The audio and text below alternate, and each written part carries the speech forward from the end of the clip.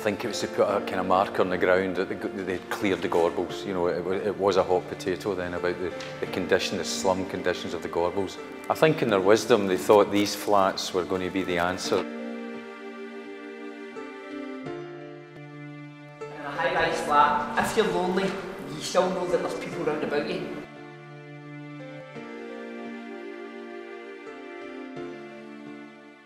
And as far as it goes, I don't like it at all. The thought of them coming down.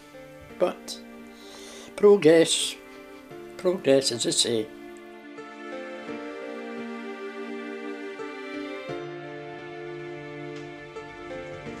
The lift is my heart.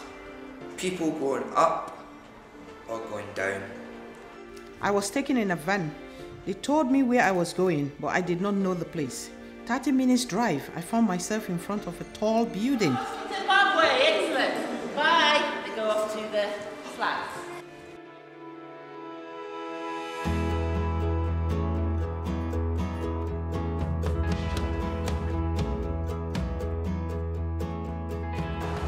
My heart is in Gorbals. Are we birds or we human beings? Staying upright in the flat like birds flying.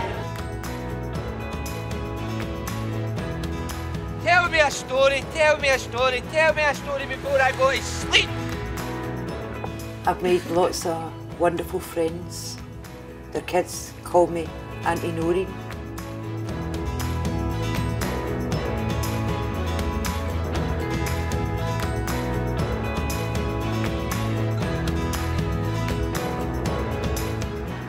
Imagine yourself running over these hills, getting away from all your problems.